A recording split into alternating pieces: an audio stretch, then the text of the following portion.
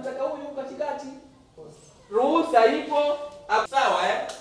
Jambo lingine, huyu huko huku chini wamchukia, chama kinaweka ajenti mo akuja kukuzwa ajenti hata moja na, na line pale ni moja, huwa jina lako, mpatie kitambulisho chako kwanza.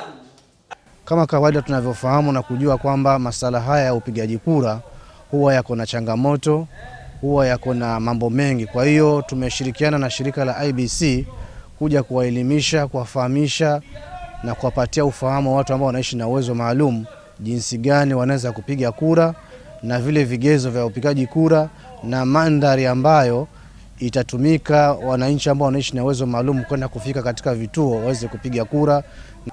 Kulingana na mafunzo ya leo, ni nina imani tukitoka hapa asilimia tisaini na tisa watakuwa wameelimika jinsi ya kupiga kura, kwa sababu tunajaribu kutoa zile makosa ambayo yanafanyika na yanaelimishwa vizuri ifuatavyo.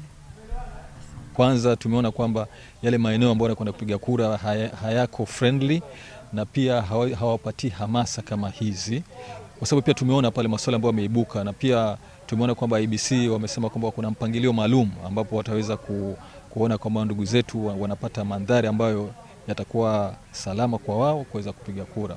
IBC imejipanga, manake hata clerks wameongezwa.